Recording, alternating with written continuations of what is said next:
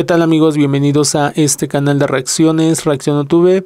Y bueno amigos, voy a seguir con las recomendaciones. Y bueno, me recomendaron este canal, no el video, sino el canal.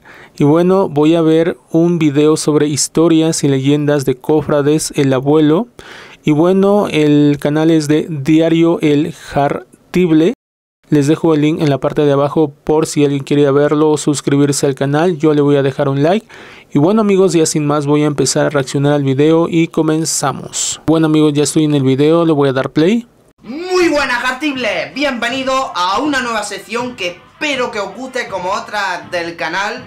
Y en esta sección vamos a hablar de historias o leyendas de las imágenes que conforman nuestras cofradías. Sí, nada más y nada menos que historias y leyendas. Creo que es una sección que os puede gustar mucho. Así que bueno, es lo que espero, ¿no? Que os guste, que, que, sea una sección de esas que, que, que decir... Que nos guste eh, mucho, ¿no? ¿Cuándo va a volver a subir vídeos de, de, esto? Sube la parte 2, la parte 3, la parte 4. Y hoy vamos a comenzar por una leyenda de una imagen que muchos conocéis ya que es de las más famosas, como es la leyenda de nuestro Padre Jesús Nazareno de Jaén, conocido popularmente como el abuelo, el cual...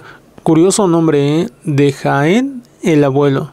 Curioso nombre. Sale en la madrugada de la ciudad. Realmente es una historia que me llamó a mí muchísimo la atención, es una historia muy curiosa, pero la que vamos a ver en este vídeo es de las más conocidas, la más comentada y de esas que dejan un amplio misterio en el aire. Así que, si estáis dispuestos a saber cuál fue el origen y qué fue lo que ocurrió con esta venerada imagen, nada más que tenéis que coger y sentaros, acomodaros lo máximo posible, traeros algo fresquito, algo así para acompañar y nada más que, bueno, solo queda que estéis atentos y que disfrutéis. Dicho esto, ¡comencemos! Ay, no, no le he dado bien, no le he dado bien. No, no podemos comenzar. Tiene que sonar, tiene que sonar bien. Más fuerte. Fuerte. ¿Eh? ¿Eh? Sí. ¿Eh? Vamos a repetir, vamos a repetir. ¡Comencemos! Todo comenzó en un atardecer, cuando llegó a una casa de las afueras de Jaén un anciano que rogaba humildemente al matrimonio que vivía en el lugar que tuvieran la caridad de acogerle bajo su techo por aquella noche, a lo que accedieron con una gran hospitalidad. Durante un rato de estancia y de conversación con los dueños, el anciano se fijó en un grueso tronco de encina que había depositado en un rincón de la casa, y exclamó, ¡Qué hermosa imagen de Jesús haría de él! Y al instante propuso a los caseros que si le llevaban el tronco a una tranquila habitación de aquella casa, se comprometía a tallar la imagen durante la noche como agradecimiento por acogerlo, siempre que no le molestasen y le dejasen solo con su labor. Y así se hizo. Se llevó el tronco a un cuarto de la parte alta de la casa y tras dejarle la cena, el matrimonio cerró la puerta y se retiraron a dormir. Durante esa noche no se escucharía ningún ruido.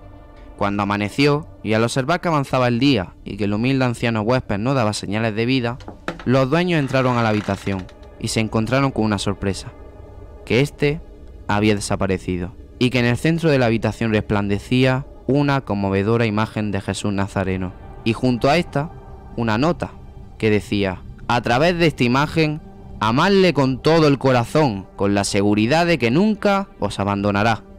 Nadie volvió a saber nada sobre el anciano, ni Fíjense que la idea no parece tan descabellada, porque por lo que he sabido algunos santos se aparecen, tienen esa habilidad, por lo que tengo entendido, de aparecer en otros lugares o también e inclusive creo que también después de eh, muertos o fallecidos creo que se aparecen eh, no es tan descabellada la historia. ¿eh? Yo, yo podría decir que tal vez y sea cierta. ¿eh?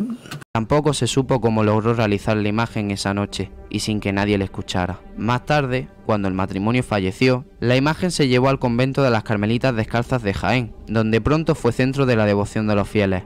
Y en recuerdo del misterioso suceso, la casa se la empezó a conocer por Casería de Jesús. Eso ha sido todo, Jartible. Espero que haya gustado este vídeo. La verdad es que eh, tenía muchísimas ganas de compartir esta historia, esta leyenda. Fue muy pequeña la historia, ¿no? Pero fue bonita. Muy pequeña, pero muy bonita historia. Con vosotros. Porque como he dicho antes, cuando la leí por primera vez, cuando me enteré de, esta, me pareció una historia bastante interesante, muy curiosa, eh, un misterio que realmente está ahí en el aire y, bueno, dije, oye, pues mira, voy a compartirlo con vosotros, además también de que muchos eh, de vosotros me habíais estado diciendo que podría hacer una sección... ¡Ay, qué calor! Espérate. Hace un calor que no veas, tengo aquí el ventilador puesto, en fin. Bueno, eh, ¿por dónde iba? Eh, muchos de vosotros me habéis estado diciendo que, haga, que haga una sección hablando de imágenes, de eh, tal, ¿no? Que me centre en la historia de la imagen, en cómo se hicieron y demás. Entonces, lo estuve pensando y estuve buscando leyendas, estuve buscando historias, estuve buscando un montón de cosas. Y bueno, eh, realmente dije, oye, pues ¿por qué no? Me podéis dejar en los comentarios historias de, imágenes de, de, vuestros pueblos, de vuestras ciudades, para próximos vídeos. En fin, eso ha sido todo, Jartible. Nos vemos en... Y bueno amigos, pues eh, el video ya acabó. La historia fue curiosa, muy interesante. Pues eh, puede ser, eh, no digo que no sea, puede ser, porque yo creo en los milagros y tal vez sí, sí y sea así. Y bueno, no sé qué piensen ustedes. ¿Creen que pudo haber sido creada así la imagen o no? ¿Cómo escucharon ustedes la historia acerca de esta imagen de Cristo? Alguien me lo podría comentar aquí abajo. Voy a leer todos los comentarios. Y bueno amigos, pues este fue el video de hoy. Me pareció una pequeña historia muy bonita. Y bueno, eh, si les gustó por favor déjenme su like, suscríbanse para ver más video reacciones, eh, es gratis, no cuesta nada. Y bueno, nos vemos en el próximo video, bye amigos.